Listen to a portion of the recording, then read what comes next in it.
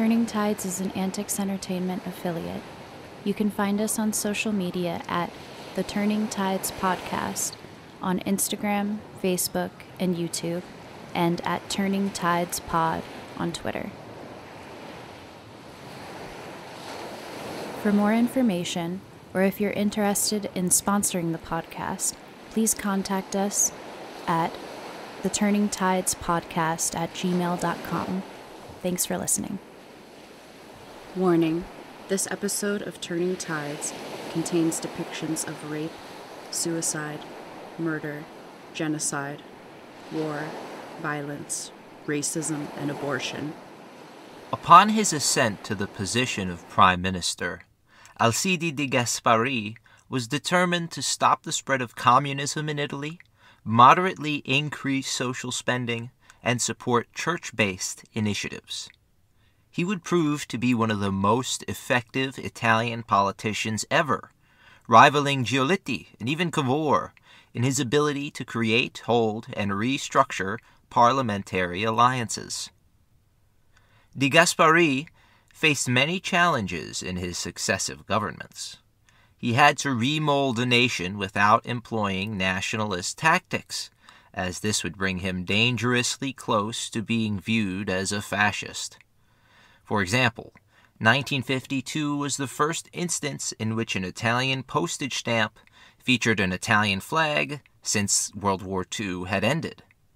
De Gasperi had to amend numerous street names, stadium names, and public works plaques next. His administration changed thousands of names to more republic friendly ones. Even more embarrassment stemmed from the national anthem, which had several replacements in the running, including Va Pensiero by Verdi, which was a song about Hebrew people who had been persecuted. It had been sung by Italian soldiers when they were hauled away to German POW camps during World War II.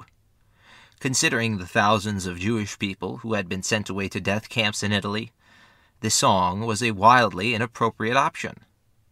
Another potential choice was the Verdi song O Signor del tetto natio from the opera I Lombardi.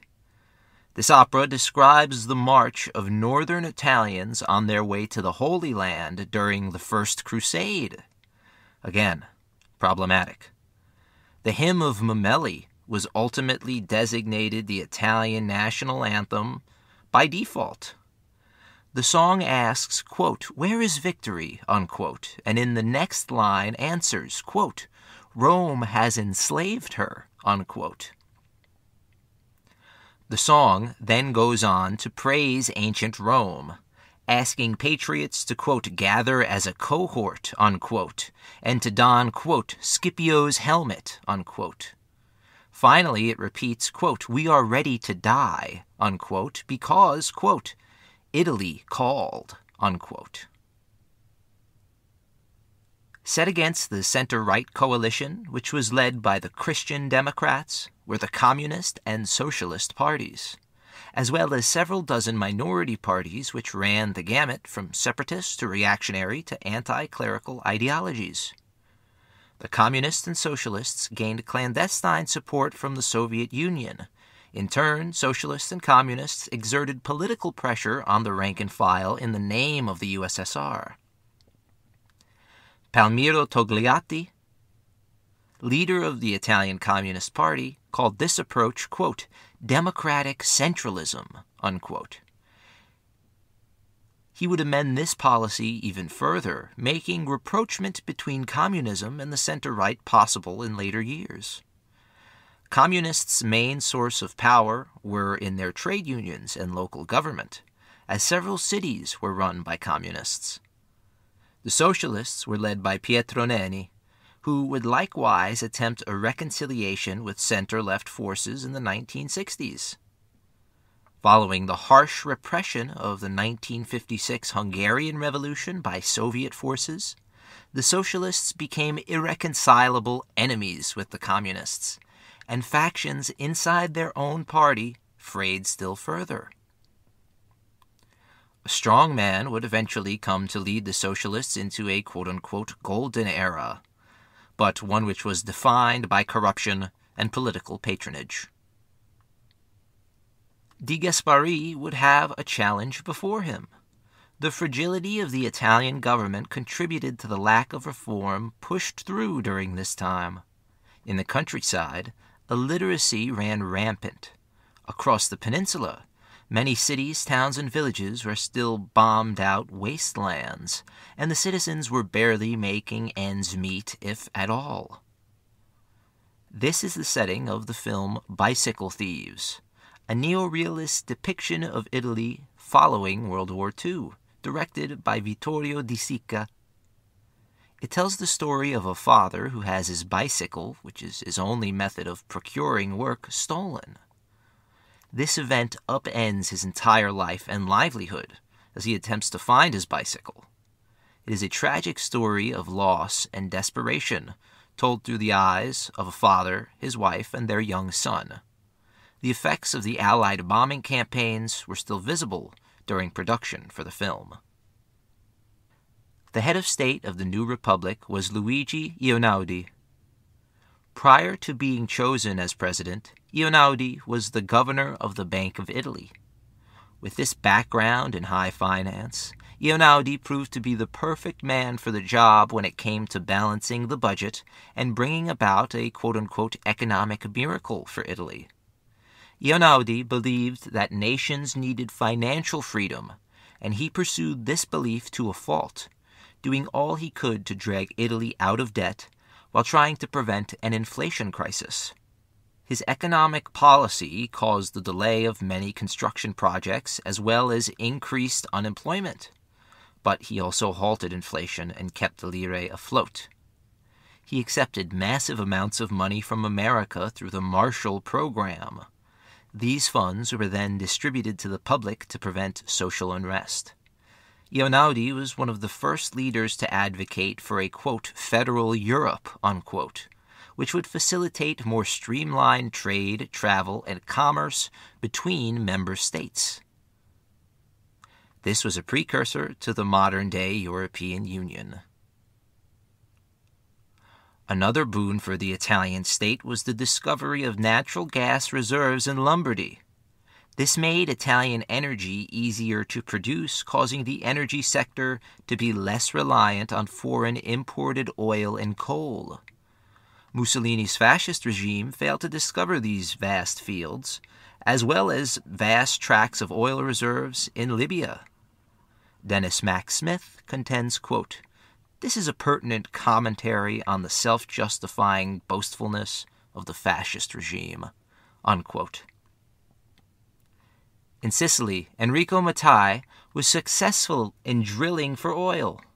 Prior to his untimely death, Mattei was pumping out 7 million cubic meters of oil and natural gas across Italy he used his profits and fabricated numbers to justify his monopolization of Italian oil and gas.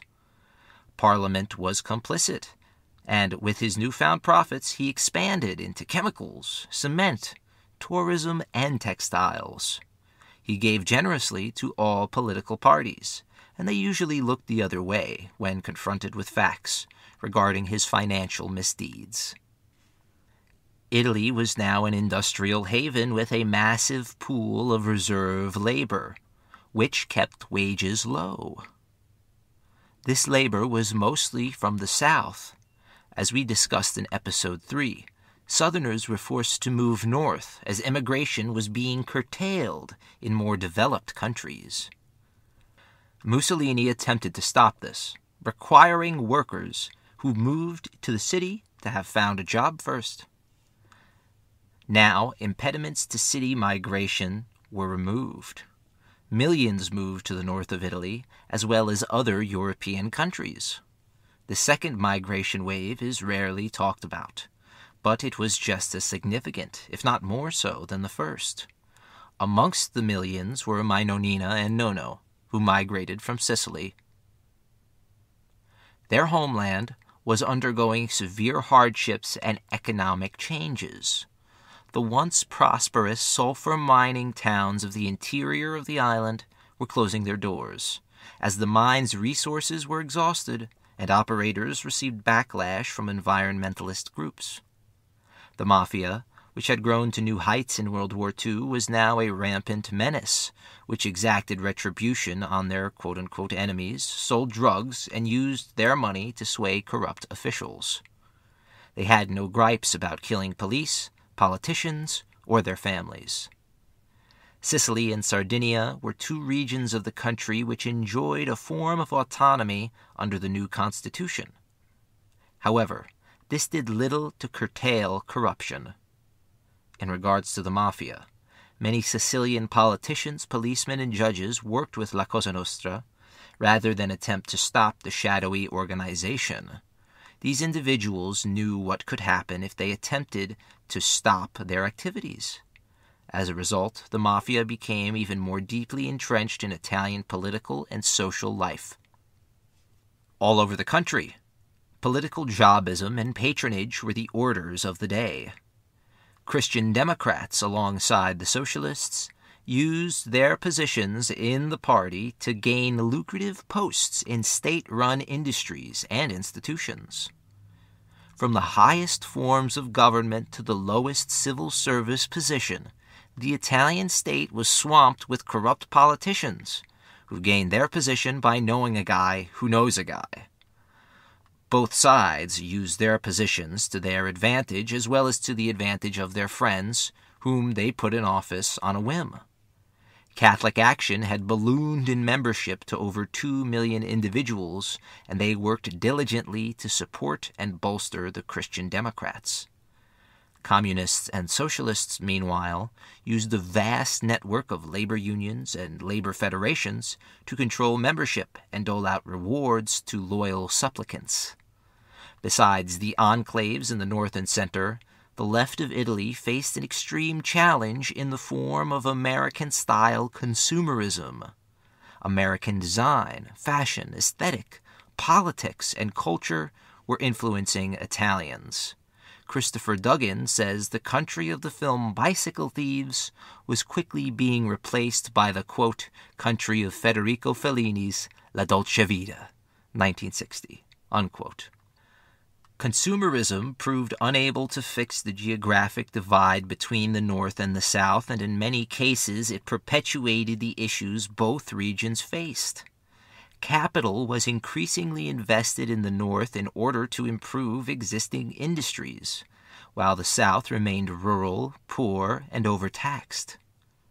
De Gasperi knew the situation between the North and South was deteriorating due to his policy, but he was either incapable or too passive to stop it. If he wanted to keep the majority he had intact, he had to allow Italian politicians to boast about economic growth, while they undermined the same growth with their corruption. The situation would prove disastrous to the post war political parties of Italy in due time. For now, schemes were hatched which could potentially correct the situation in the South without the government having to be too hands on. The Italian government allocated vast sums of money to the South in order to build roads, water networks, and schools. But approximately one third of all the money ended up in the hands of the mafia or the Camorra. Overall, living standards increased, but they only did so at a high cost. Some private institutions moved factories to the South, but overwhelmingly, it was state run industries which moved south, thus increasing political corruption, which was already widespread. In 1950, the most ambitious plan was hatched by de Gasperi's government. He wished to quote unquote reallocate vast swathes of southern land into the hands of the peasant class. This proposal was met with serious opposition from southern landlords, who enjoyed a feudal like existence with their tenants. This opposition was not enough to keep the proposal from being enacted. Unfortunately, the few peasants who benefited from the land grants were unable to keep up with payments, and many defaulted on their startup farms. Regardless, the reforms had a real impact on the lives of Italians. following the war, Christopher Duggan says real wages of Italians had cascaded to half of what they were in 1938, while the average daily calorie count for Italians was just 2,100. Only half of all Italians had a kitchen in their home, while only a privileged 27% could say they had a bathroom. When it came to running water and electricity, only 7% of all Italians could claim this luxury. One of the most common forms of transportation was the bicycle, until the release of the Vespa scooter. Up to that point, the average worker could not afford a motorized private transportation. The slogan, Vespa e Liberty, was more than good advertising. It was the truth. Throughout the 1950s into the 1960s, Italy experienced economic growth which was second only to Japan. Italian companies excelled in making a variety of products, not just cars and tires, but now home appliances and washing machines. Italian governments under De Gasperi endeavored to capitalize on this burgeoning success. In 1952, they joined NATO and in 1957 Italy became a founding member of the European Defense Community Plan with their signing of the Treaty of Rome.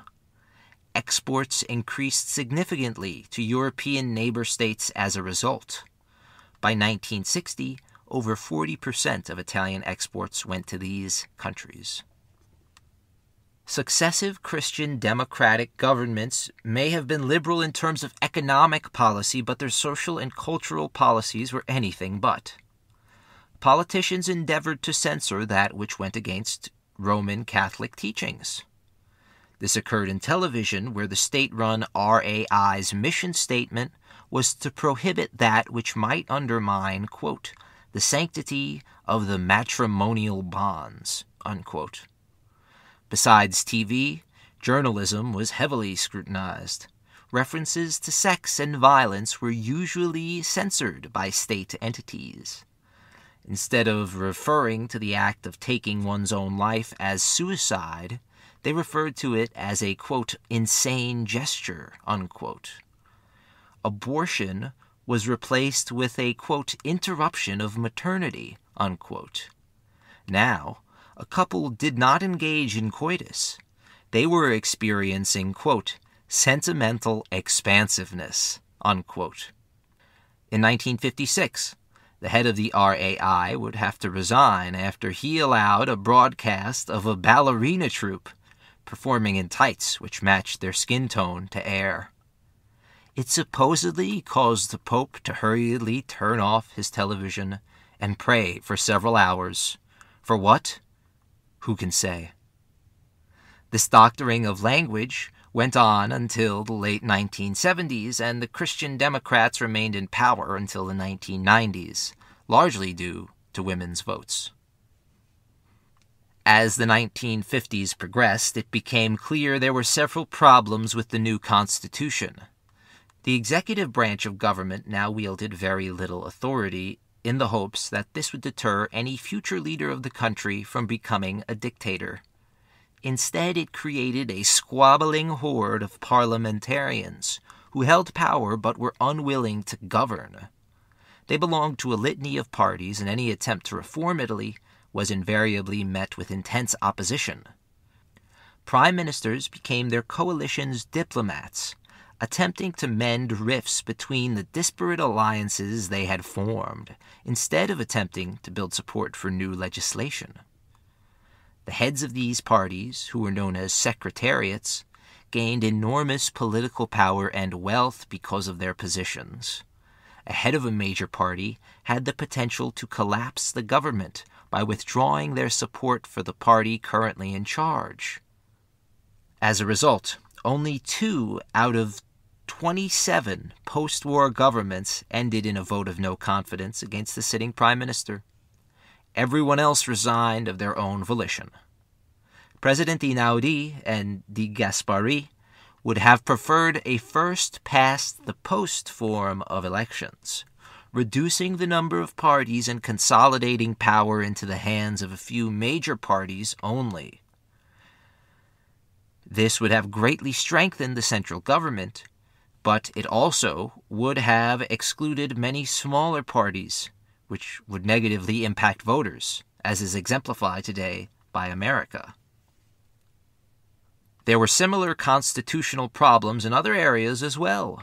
Article 7 claims Roman Catholicism is the state religion, while the very next article claims all religions are legally equal. This is contradicted yet again as divorce, birth control, and abortion were all controlled by Catholic sentiments in Italy. Pope Pius XII continuously pressured Christian Democrats into maintaining these same patriarchal institutions. In 1949, Pope Pius XII excommunicated millions of Italian voters simply for voting for the Communist Party.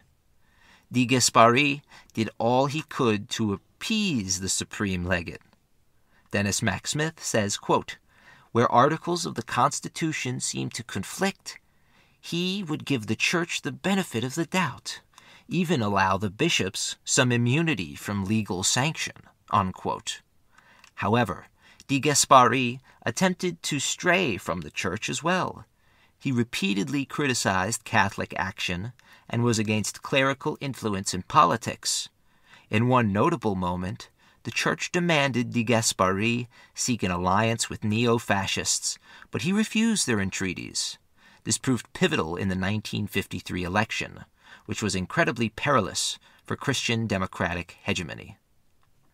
Following this closely run election, de Gasperi called for a radical change in how elections were tallied in Italy he proposed that any party which received a clear majority should be given an extra 15% of the allocated parliamentary seats. It was a bridge too far, and violence erupted on the floor of Parliament on numerous occasions, the likes of which hadn't been witnessed since Mussolini's black shirts ran rampant. His proposal was adopted, but come election time, the Christian Democrats failed to reach the required 50% of the popular vote. This move effectively ended de Gasperi's career in Parliament, and Christian Democratic hopes were at an ebb. Their fortunes would continue this slow decline for 40 years, until the party was eventually dissolved. In 1955, it came time to choose a new head of state.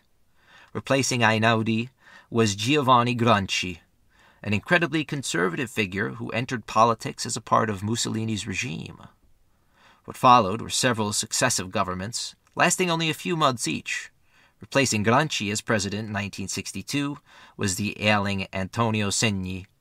Segni resigned due to his poor health and was replaced by the Social Democrat Giuseppe Saragat in 1964. 1961 marked the 100 year anniversary of the Italian Risorgimento. It would also mark the end of a period of relative economic stability in the country. Alongside the ebb in economic fortunes, political radicalism was creeping back into Italian politics. The neo fascist Italian Social Movement, or MSI, was gathering steam throughout the country, and its militants were being energized into violent action. The Radical Party was experiencing a rebirth as well. It was anti communist, but also anti monopolist. Their members wanted to bring back the ideas of Mazziniism to modern Italy. Meanwhile, the socialists were maintaining a sizable minority in parliament. The ruling Christian Democrats were putting out feelers toward this party in the hopes of pushing the country toward a left center welfare state. One of the leading voices for this push was Aldo Moro, soon to be Prime Minister. Unfortunately, corruption, alongside the mending of relations with the socialists, caused many upper class Italians to withdraw hundreds of millions of lire from Italian banks and deposit their money in foreign banks instead. This helped precipitate a collapse in the Italian stock market as well as a countrywide recession. In reality, this recession was a natural byproduct of the successes of the 1950s. The quote unquote economic miracle was short lived, and Italy was stagnant once more. Within the government, the most radical socialists broke away and formed their own party. Moro was attempting to hold together this fragile coalition. He went on to be named prime minister in five separate elections. Moro half heartedly attempted to fix many of the country's woes. He set up a commission to deal with the mafia. However, this proved a failure, as many politicians were openly working to subvert the commission's report. In spite of this failing, Italians had a better standard of living than ever before. Illiteracy reached all time lows more people were speaking the Italian language as opposed to their local dialects. This was largely due to television. Italy allowed clientelism to permeate their government even further, letting organized interest groups essentially run the show. Moro, however, proved adept at managing these groups, which sought to gain political power through nefarious dealings. In 1967, it was discovered that a military coup had nearly upended the country three years previous. Apparently, the state police and military leaders had been collecting dossiers on over 150,000 Italian citizens. Many of these were prominent figures in society and politics. If the coup was successful, the island of Sardinia would have been converted into a massive political asylum for these citizens while Italy would become an ultra nationalist Catholic dictatorship. This coup was supported by an organization which was even shadier than the Italian state police. Gladio was a UN funded secret organization. They mirrored the stay behind parties of World War II, only this time the targets weren't fascists but left wing dissidents. Members of Gladio would sow dissent infiltrate left wing organizations, and even carry out terrorist attacks, which they would then pin on the left. Its existence would remain a secret to the Italian parliament for 40 years. It is likely Gladio was instrumental in orchestrating the attempted coup and countless terrorist attacks to come.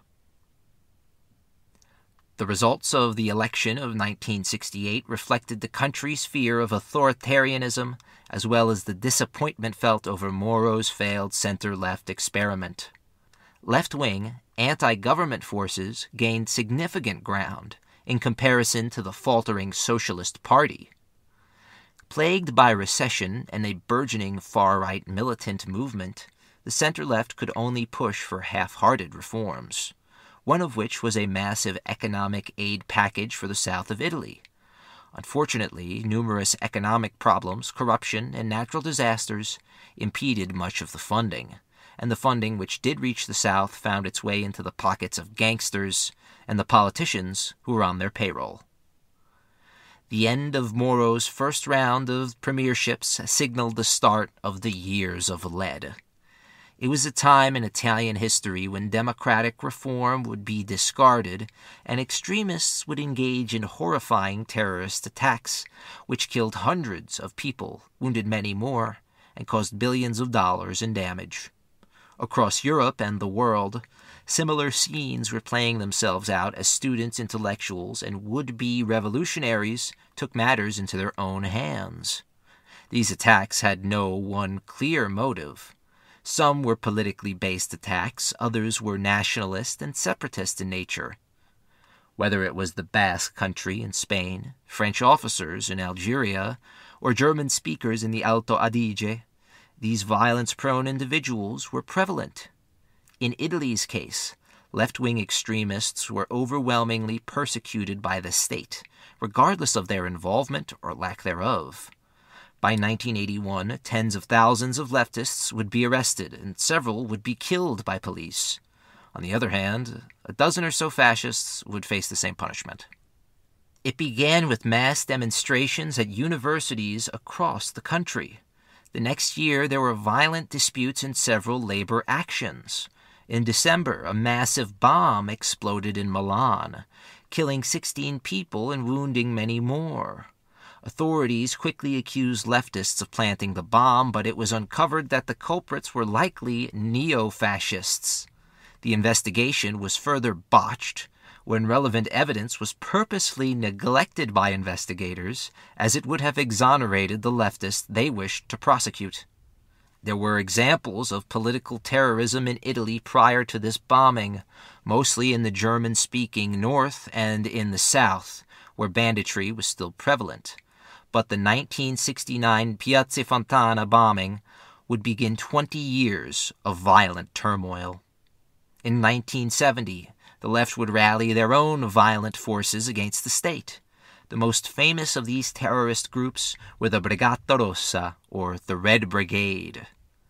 Their objective was to destabilize and educate the masses through terrorist attacks on state figures and leaders. Their right wing counterparts believed in indiscriminate attacks against civilian targets or left wing agitators. They attempted coups, derailed trains, and killed armed forces members. Additionally, in 1970, the Italian parliament finally legalized divorce. Alongside this, birth rates were falling in Italy, pointing to an increase in the use of contraception and the secularization of society. Hard right parliamentarians grumbled enough to get the issue of divorce and abortion on a ballot in the form of a national referendum. 88% of the Italian electorate voted, and almost 60% of them supported the right to a divorce as state law. It was an utter rebuff to the hard right. In 1978, abortion would finally become legalized across Italy as well. In 1981, this decision was overwhelmingly supported by the Italian people, with only 33% of the country voting no on the abortion question. Back in 1970, regional administrations were finally set up in many Italian municipalities.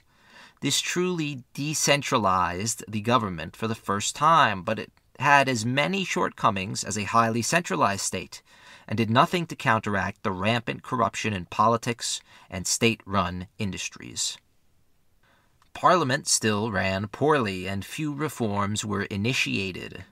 Decrees from the President were often reissued whenever Parliament failed to approve their laws, making parliamentary democracy little more than a farce in Italy. It seemed the only thing which kept the Christian Democrats in power was Italian voters' absolute aversion to communism and socialism. These two ideologies never enjoyed serious mass support from the Italian people only finding isolated pockets of popularity in the industrial north and the highly radical center. They were helped in their objective by the Soviet state, which regularly perpetrated atrocities against fellow socialist countries. In Hungary, they killed thousands who dared to reform socialism, while in Czechoslovakia they overthrew the popular government, which was calling for, quote, socialism with a human face, unquote. In the mid 1970s, Italian communism fell under the sway of Enrico Berlinguer. He attempted to reach a quote, historic compromise unquote, with the liberal parties of Italy, in the hopes of making communism a viable coalition candidate in the future. This policy paid off, and in 1975, communists swept many local elections throughout the cities of Italy. This caused a serious reaction amongst traditionally conservative voters. Come the following year, Christian Democratic supporters rallied. Gladio operatives gave generously to neo fascist organizations in order to keep communism from becoming too popular with the Italian citizenry. Around the same time, the first of many scandals was unveiled to the nation. Investigators had revealed that the American company Lockheed Martin was bribing Italian officials in order to sell their Hercules airplanes. The head of state was implicated in the scandal and forced to resign. Once again, Aldo Moro was the prime minister. Following his ousting in 1976, a quote, national solidarity unquote, government was instituted by center and communist parties, but headed by Christian Democrats once more. This whole time, left, right, and mafia based violence continued unabated. In 1978, the former Prime Minister Aldo Moro was kidnapped by Brigata Rossa members after his bodyguards were killed in an ambush. Police and security officials failed to locate Moro and failed to negotiate on his behalf. After two months in captivity, Moro was executed and his body was left in the trunk of a car for police to discover. This killing sent shockwaves all across Italy police and Secret Service forces were mobilized like never before to crack down on left wing subversives. In 1980, the Bologna Central railway station was bombed by right wing extremists, killing 81 people and wounding hundreds of others. To this day, many far right figures claim this attack was the work of the Palestinian Liberation Front, but these claims have no tangible evidence backing them. In the south of Italy, gang and mafia influence were reaching new heights of power and violence. They committed numerous bombings, shootings, and robberies all across the countryside. In 1981, there were attempts to finally fix the situation for good. A comprehensive witness protection program called on former mafioso to become state evidence. In no time at all, hundreds of pentiti were outing their former crime family members. This program began with the hopes of curtailing an increasingly violent mafia clan war, which was claiming numerous lives all across Sicily. Dalla Chiesa was sent there to lead a counterinsurgency force against the mafia. In 1982, he and his wife were killed by hitmen who had information only people close to Chiesa would know. His brother in law shouted at their funeral, quote, You have murdered them in Parliament. Unquote. In 1984, Tommaso Buscetta, a notorious crime boss, came forward as a pentiti. He was one of the first to outline the complex web of organizations and families which made up La Cosa Nostra, or this thing of ours. Thanks to his information, 344 mafioso were sentenced to jail time. As the 1980s progressed, world economic patterns were trending up once more. This did nothing to curtail corruption in Italy. Politicians were supposedly in the pockets of big oil. Journalists who claimed to have evidence mysteriously disappeared. In the steel industry, state subsidized IRI was becoming increasingly inefficient, as well as a home for patron seekers. Besides steel, IRI controlled airlines, shipbuilding, and automobile factories. This state entity was surpassed in corruption by several private individuals. Michel Sindona was a southern Italian financial guru. He quickly became involved with the mafia and in drug smuggling. He paid lavishly for protection while those who investigated him found themselves dead.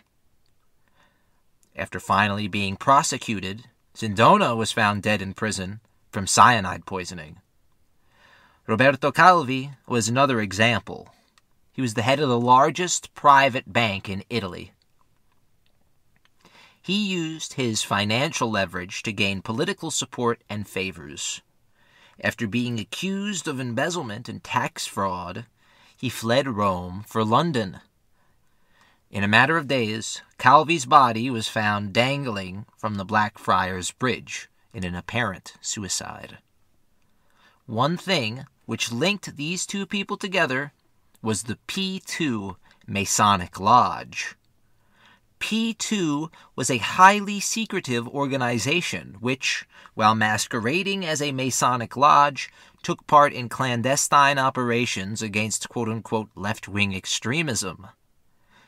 They have been accused of funding terrorists, laundering money for the mafia, and gun running for right wing extremists.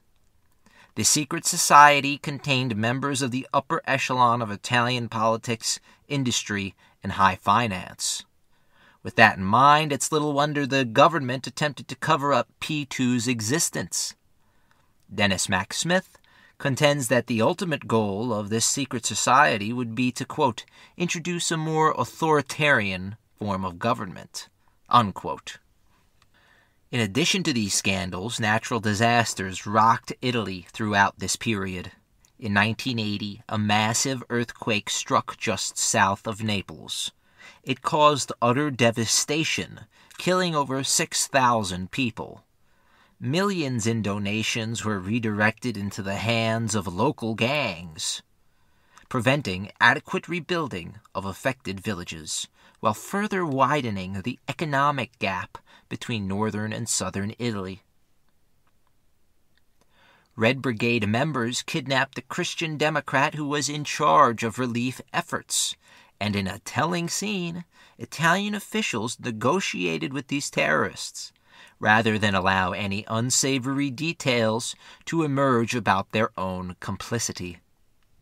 Thankfully, not all the news out of Italy was this disheartening. Another economic miracle was in the works, as several changes to state policy opened the gateway to private investment. In 1976, RAI's monopoly of broadcasting had come to an end, and new competitors entered the fray. Amongst them was Silvio Berlusconi. Originally a real estate tycoon, he used his political connections and less than legal methods to create a broadcasting empire. By 1980, 44% of Italian eyes were glued to his TV channels. Firms found new sources of income through outsourcing labor to smaller mom and pop shops. As a result, over 60% of the Italian population had work in firms with fewer than 100 employees. These big firms also increasingly turned to migrant labor from the Balkans and North Africa. This unleashed a new wave of racism against these peoples. Estimated at over 2 million, these migrants lived and worked in appalling conditions across Italy, but mostly in the country's industrial north. Once again, this quote unquote miracle was built on a lie. But for now, many entrepreneurs achieved success as Italy was allowed entrance into the European Economic Community. This propelled Italy into a place of economic progress never before and not since witnessed by the country. For a brief few years, Italy surpassed Great Britain as the fifth largest economy in the world, although Great Britain attempted to dispute this fact for a long time. In the 1983 elections, Bettino Craxi would become Italy's first socialist prime minister. To say the Socialist Party had gone through a change since its inception would be an understatement. For decades, the party had been openly hypocritical, preaching about the working man's plight while driving off in a Lamborghini. Once placed in power, quote unquote socialists proved to be socialists, but for the entirely wrong class. Craxi had been building an empire of political patronage for years largely with the support of his longtime friend Silvio Berlusconi. These big business socialists under Craxi proved very effective at holding together a coalition, as Craxi would rule as prime minister for five years. He would be dealing with new forces in Italy, amongst them a burgeoning environmental movement and the Green Party which supported it, the Libertarian Radical Party, and an early feminist movement. Craxi seemed unwilling to help the South and was much more focused on controlling machine politics from his base in Milan. As a result, a senior judge in the South claimed the mafia and similar organizations had, quote, absolute control, unquote. Regardless, it was clear Craxi was a master web weaver he sought to empower the prime minister with more prerogatives, in the hopes of making government in Italy last longer than their less than a year average. He faced additional backlash for attempting to rework the way elections were run, as many still preferred the proportional style currently in place, as opposed to the first past the post system. Following Craxi's rule of complicit corruption, three weak Christian Democrats were in office. This is when the wheels began to fall off the wagon that was the Italian state. There had been rumors and whispers for some time about massive corruption rings inside Italian party politics. Supposedly, Christian Democrats were accepting massive bribes for lucrative prison contracts. Before the scandal of Bribesville could truly break, the USSR fell apart after a massive campaign of civil disobedience erupted into a series of political revolutions in many Soviet satellite states. As communism fell, the Communist Party of Italy sought to rebrand. The Communists had been seriously suffering in recent elections, as their name was tarnished by the Soviet state's misdeeds. They transformed themselves into the Democratic Party of the Left, or the PDS. while a small militant offshoot of the party became the Party of Communist Refoundation. The Christian Democrats had lost their single most powerful tool in preserving their base of power. Deprived of communist bashing, the Christian Democrats were rapidly fading in relevance. In the South, an anti mafia party called the Network was demanding reform against the corrupt government and complacent politicians.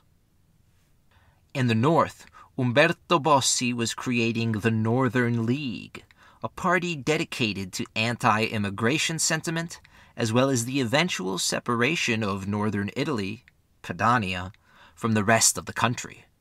Bossi argues that the center and south of Italy are economically holding back the north, while also siphoning away northern resources and capital in the form of welfare.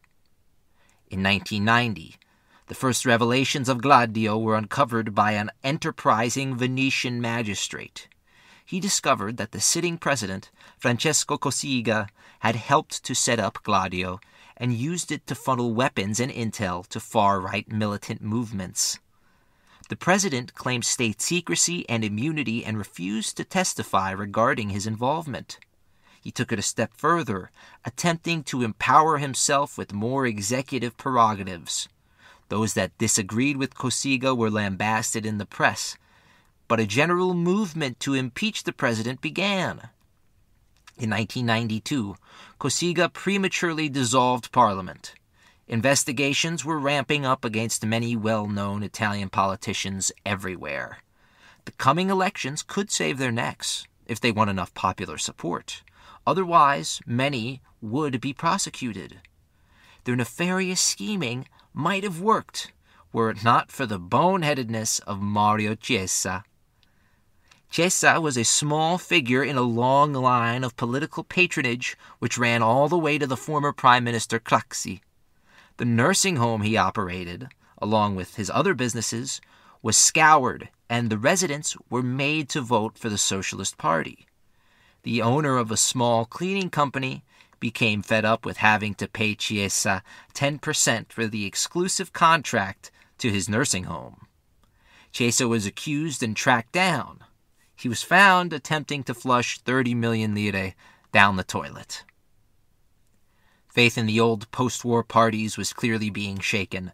The Socialists and Christian Democrats in Italy had barely any support now, while the former Communists were still attempting to pick up the pieces.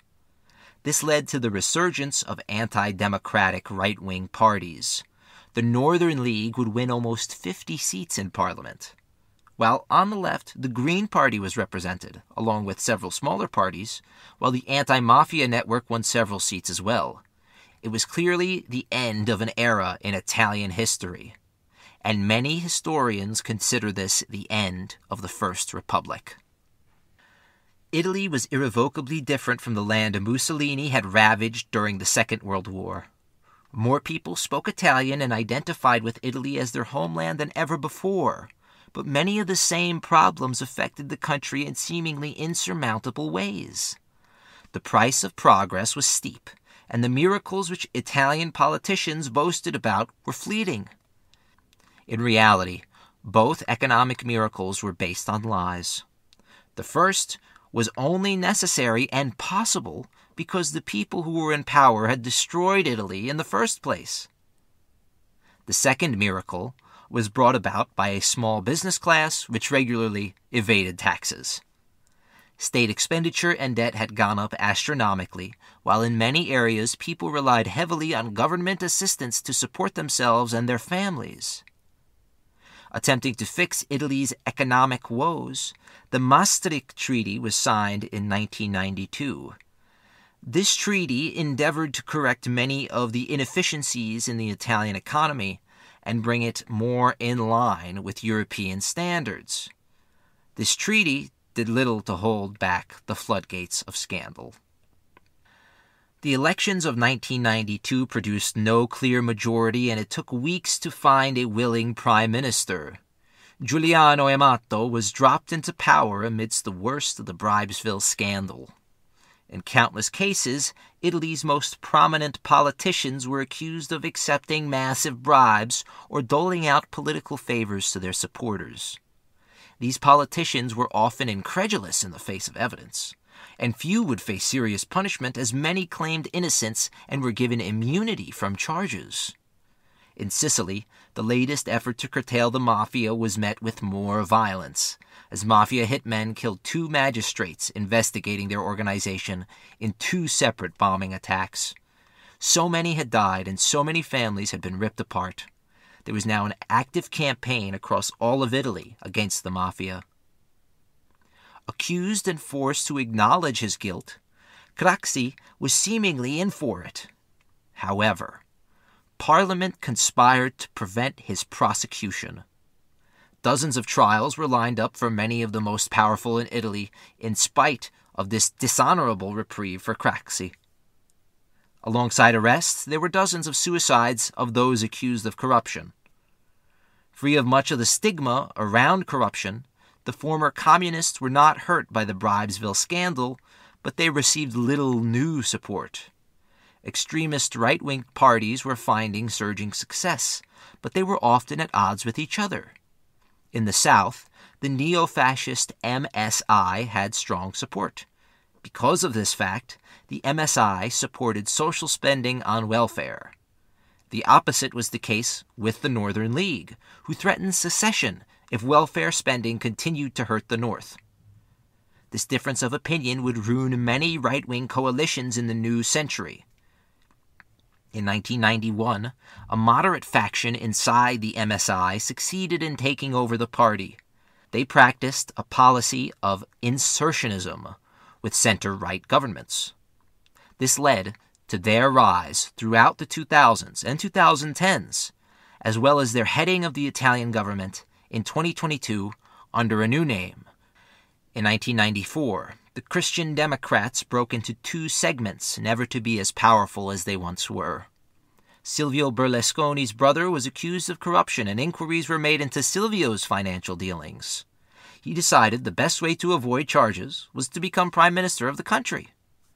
He used his television channels to support his own campaign.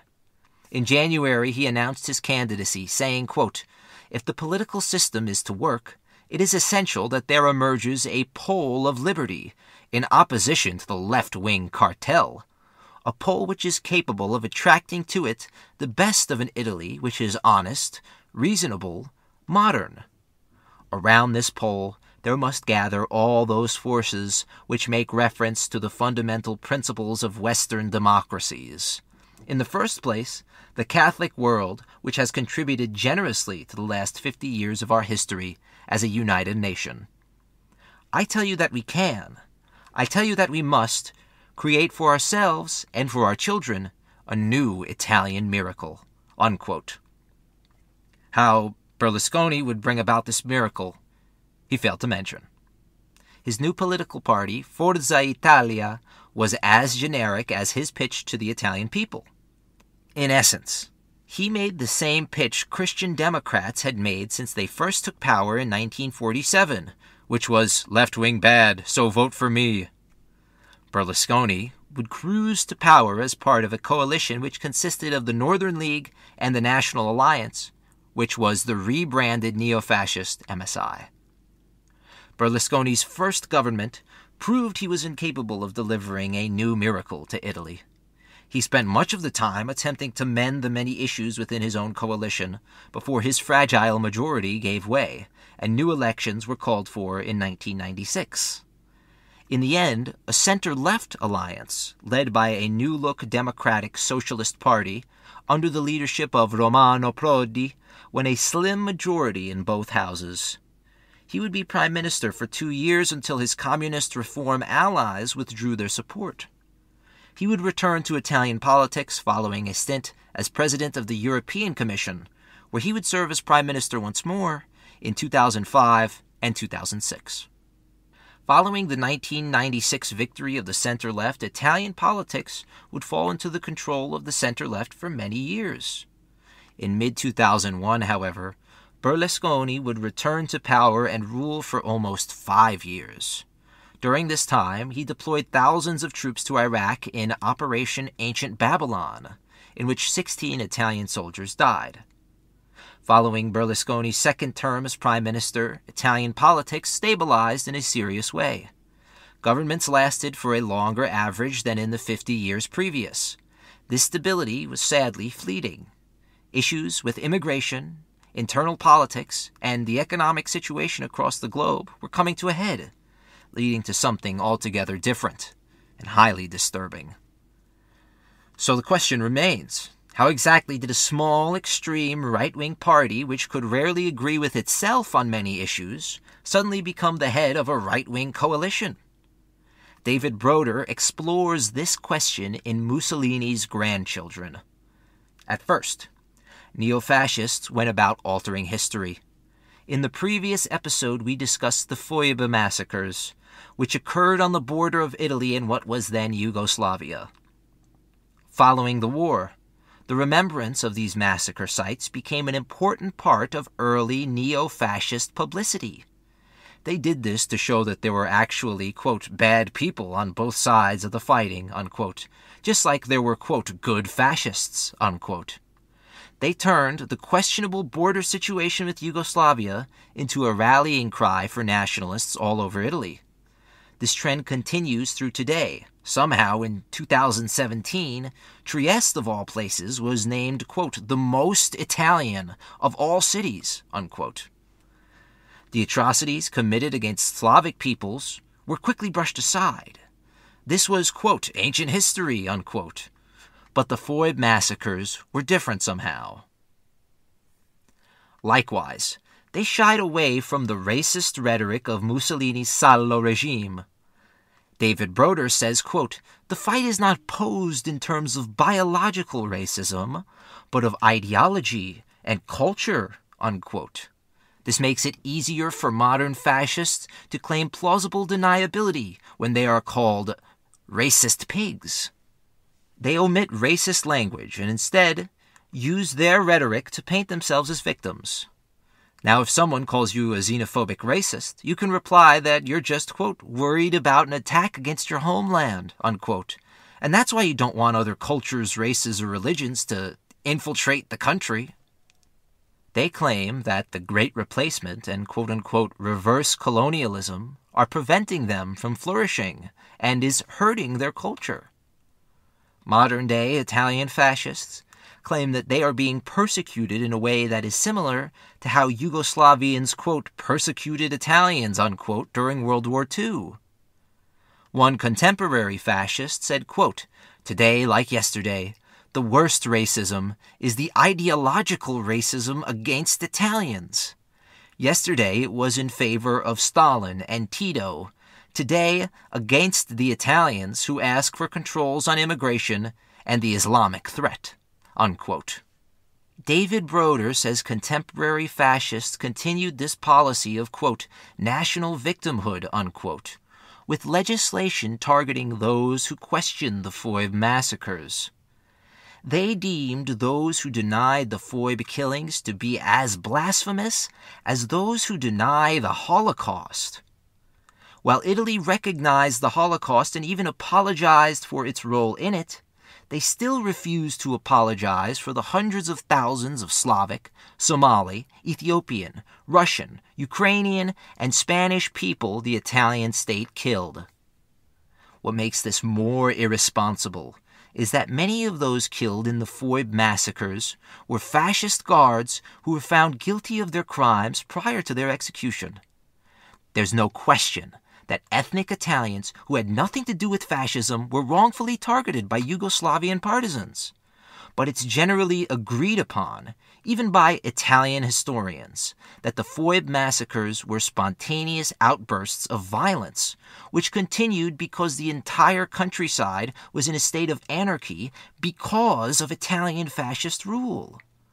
On top of this, many of those killed were Slavic fascist collaborators. This immediately disproves the Italian state's historical narrative that the Foibe massacres were a, quote, ethnic cleansing of Italians, unquote. David Broder concludes, quote, the Italian state's position establishes an equivalence between groups. The Italians killed in the Foibe and Jews murdered at Auschwitz. Regardless of who they were, why they were killed, and indeed whether or not their political action contributed to their deaths. Unquote. One of the most disrespectful parts of this legislation was that it allowed families to be granted medals of valor only if their fallen relatives served in the Italian armed forces. This unsurprisingly barred all former partisans from receiving their medals. This was all done to reinvent Mussolini's regime in a different light. The Salò Republic wasn't a corruption ridden German puppet state. It was just composed of a, quote, different kind of patriot, unquote. The Slavic and Italian partisans were no longer fighting for freedom. Instead, they fought on a, quote, wave of hate and bloodthirsty fury, unquote. This all helped to radicalize an electorate which was crippled by the 2008 financial crisis. More and more people turned to the far right. In October 2021, the headquarters of the largest trade union in Italy were attacked by violent fascists who were upset that they needed vaccine passes. When anti fascists gathered in their hundreds of thousands to protest the violent attack, news reporters belittled them. They claimed that the term fascism was being, quote, overused, unquote. One anchor said, quote, if you tell your daughter to come home at 11.30, not midnight, you are a fascist, unquote. Fascists had retained intellectuals in their ranks since the 1990s. Most famously, Renzo De Felice, a world renowned historian, released a 7,000 page book on Mussolini, which attempted to offer a more quote unquote neutral view of the Duce. Somehow, in this 7,000 page book, De Felice never once mentions the gassing of Ethiopian children, but he sure did manage to recreate a minute by minute average day of Mussolini's almost a hundred years after World War II. The scars of the conflict have yet to heal. Many old wounds are being reopened. In the end, history is not some black and white reality in which people are morally correct just because they say so because they're in power. Alberto Asor Rosa claims the crimes of the fascists and the crimes of the partisans were not in any way comparable. Quote, Behind the most honest, good faith, idealistic fighter in a fascist militia were the roundups, the torture chambers, deportations, the Holocaust. Behind the most ignorant, thieving, cutthroat partisan was the struggle for a peaceful and democratic society. Unquote. When asked to offer some kind of apology for historical fascism and Italy's role in human suffering, Giorgia Meloni quickly deflects and mentions those who were killed by anti fascists. There are several modern day martyrs for quote unquote post fascism. The most famous was the death of Sergio Ramelli, who was killed for no reason other than for his far right politics. Another favorite tactic employed by fascists is claiming that, quote, history itself, unquote, has freed the far right in Italy. They claimed democracy was being wasted, quote, on one side, unquote. Meloni also claimed a vast conspiracy was afoot. She said, quote, globalists, unquote, were hatching, quote, a plan for the ethnic substitution of Italians and a supposed plan for the ethnic substitution of white Europeans with African and or Muslim peoples, unquote. This will somehow lead to the quote, extinction of Italians, unquote. This theory is quite unhinged, and again, it's presented without any tangible or systemic evidence supporting the claim. White Europeans aren't being replaced. They just aren't having kids anymore because the world is burning. White politicians and judges are so terrified that this is the case that they are actively trying to employ policy which will force white women to give birth to more children. This thought process has inspired numerous terrorist attacks. In Australia, the shooter who killed 51 people at a mosque cited Luca Traini as one of his inspirations. Traini was a former council member for the Northern League. After hearing about the murder of a teenage Italian girl, he went on a shooting spree targeting African people specifically. Police found him draped in an Italian flag, performing a fascist salute. Meloni drapes her, quote, ideological struggle, unquote, in fantastical terms, regularly calling upon J.R.R. Tolkien's classic fantasy novel, Lord of the Rings, in order to compare the Italian state to Gondor, herself to Lord Faramir, and Europe to the long lost men of Numenor. Her favorite line is spoken by Lord Faramir when he says, quote, War must be, while we defend our lives against a destroyer who would devour all. But I do not love the bright sword for its sharpness, nor the arrow for its swiftness, nor the warrior for his glory. I love only that which they defend, the city of the men of Numenor. Unquote. She said, quote, Today, like yesterday, the foreigner will not pass. 100 years on, we remember sacrifice by fighting the same battle against fresh invaders. Unquote. In both quotes, she asserts a state of war exists between African and Muslim people and Italy.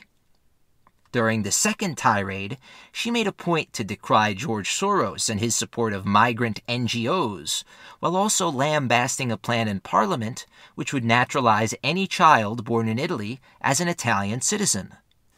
In one of her most putrid displays of anti migrant sentiment, she posted a video of an Italian woman being raped by someone who happened to be a migrant and used this poor woman's plight in order to justify her disturbing views. While using high fantasy to justify her low racism, she also uses modern culture and the fact that she is a woman to garner support from a younger audience who otherwise would likely not align with her politics. She uses song lyrics from Maroon 5 in her speeches, promising, quote, I'll carry these torches for you that you know I'll never drop, unquote a reference to her party's logo, a burning torch. This torch is claimed to represent, quote, 70 years of the democratic right, unquote, in Italy. However, others postulate the torch is a symbol for the blaze of fascism, specifically the pyre which remains lit around Mussolini's grave. Giorgia Meloni has repeatedly praised Mussolini. Most famously, she said, quote, Mussolini was a good politician in that everything he did, he did for Italy. Unquote. Today, she has claimed Italian fascism has been, quote, relegated to the pages of history, unquote. But when she rails against LGBT lobbies, anti fascists, and anyone else who might disagree with her, I can't help but think she's lying. Once in power, the racist rhetoric of Meloni's far right Fratelli d'Italia political party translated itself into legislation. Migration policy in Italy has become draconian, to say the least. Italian authorities have mandated the expansion of, quote, detention facilities, unquote, for thousands of migrants arriving from Western and Northern Africa. Beyond this, they've made it much more difficult for NGOs to operate rescue vessels in the Mediterranean.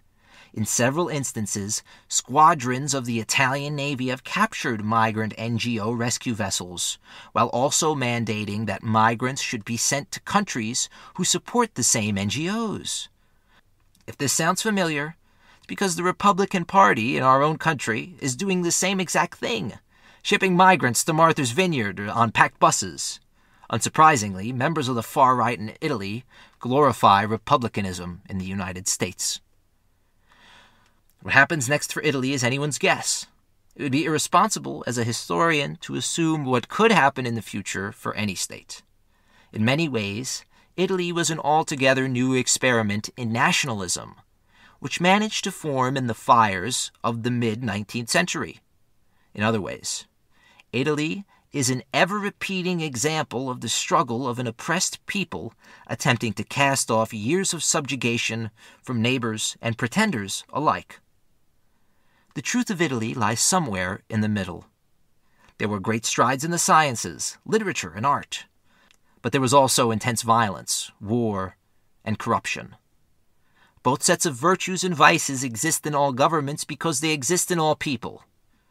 Italian history is no exception. It was filled with heroes, villains, clowns, and geniuses, with various worldviews and dramatically different upbringings. There were the great men of history who were all remembered fondly.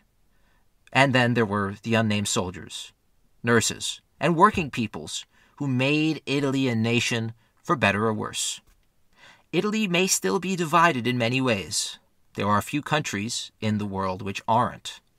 Italians struggled to form a nation in the face of cultural assimilation and Austrian, French, and papal violence.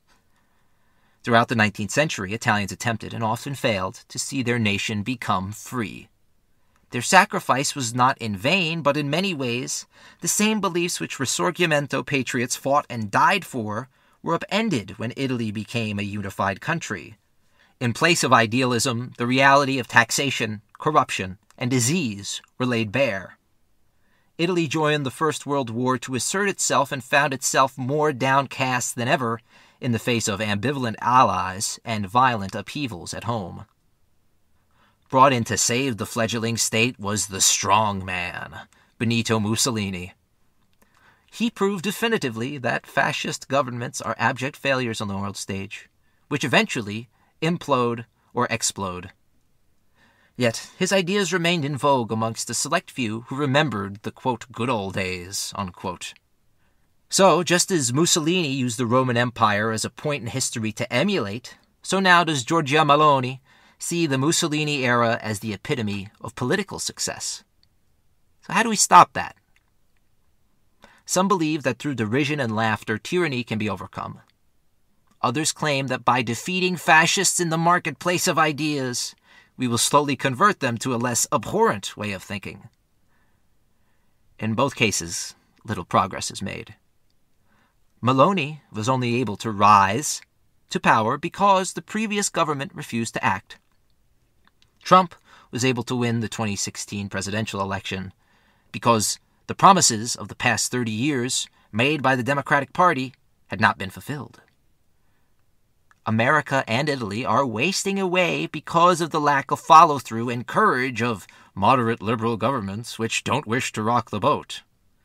I believe the time for hoping for a solution from the center is over. They have proven unable or incapable of fixing the problems which affect their people. In closing, I would like to read you the poem Be Moderate by the Irish nationalist James Connolly. Quote, Some men faint hearted ever seek our program to retouch, and will insist, whene'er they speak, that we demand too much. 'Tis passing strange, yet I declare, such statements give me mirth. For our demands most moderate are, we only want the earth. Be moderate, the trimmers cry, who dread the tyrant's thunder. You ask too much, and people fly from you aghast in wonder. 'Tis passing strange, for I declare such statements give me mirth. For our demands most moderate are, we only want the earth. Our masters, all a godly crew, whose hearts throb for the poor, their sympathies assure us too, if our demands were fewer. Most generous souls, but please observe, what they enjoy from birth is all we ever had the nerve to ask, that is, the earth. Unquote. Today, Italy is no longer a kingdom, but a republic. In that sense, it is closer to the idealized version of Italy of which some of its founders dreamt. Unfortunately, the same problems which have always plagued Italy continue to plague it now. These include the church, misogyny, and a deep sense of insecurity over what being an Italian means. Ever since D'Azeglio claimed Italians had not been made, the overwhelming quest for the Italians throughout history has been to create this tangible being and enforce that mold onto all people who live inside Italy. Perhaps instead of asking what makes Italians, we should be asking how to make Italy work for all the many peoples who live there. Throughout its history, Italy has played the role of a great stopgap between North and South, East and West. It contains traditions, histories, and cultures from all of these regions.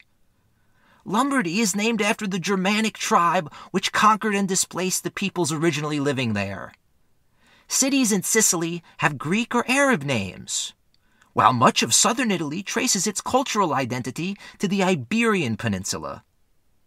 Even the religion of Catholicism was first practiced by peoples in the Levant before being transplanted to the Western Roman Empire.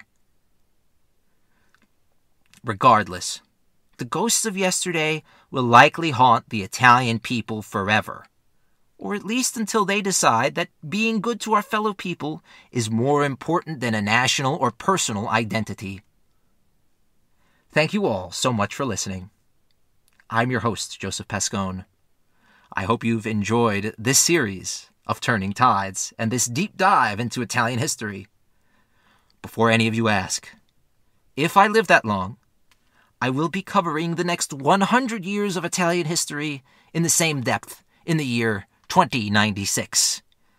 Until then, I hope you'll join me for our next series, where we will be returning to the pristine beaches of Puerto Rico to hear how the American government was responsible for the sterilization of tens of thousands of Puerto Rican women, the irradiation of a man, and the spread of economic monopolies throughout the Caribbean and Latin America, you'll have to wait for the next episode of Turning Tides.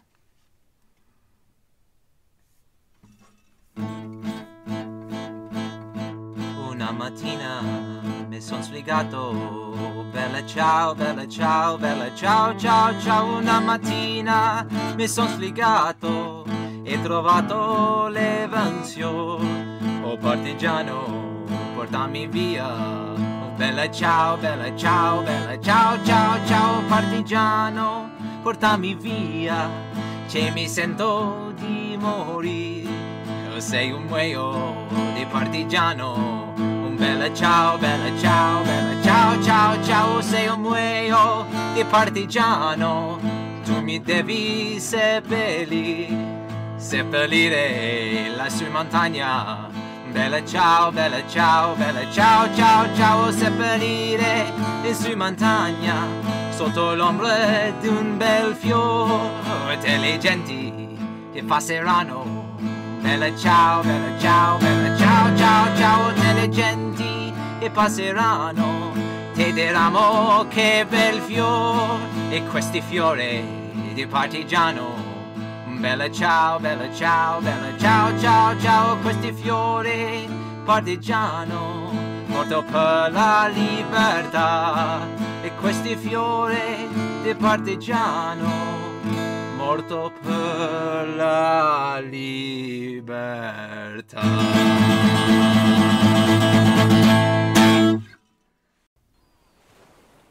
If you like what you heard today, you can support us by donating on PayPal at Turning Tides Podcast 1. Thanks for the support and thank you for listening. If you like what you've heard, we'd really appreciate it if you take the time to rate and review Turning Tides on whatever platform you use to listen and share the show on social media. It really helps us to bring the show to more listeners. Thank you guys so much. Thank you to everyone for listening. We'd also like to say thank you to Movo Photo. We use their sound equipment for this podcast as well as all of our other projects at AntiKs Entertainment. They make great equipment at great prices, and we really appreciate that they make content creating so accessible for indie creators like us. Check them out on social media at Movo Photo, M O V O P H O T O. Thank you again.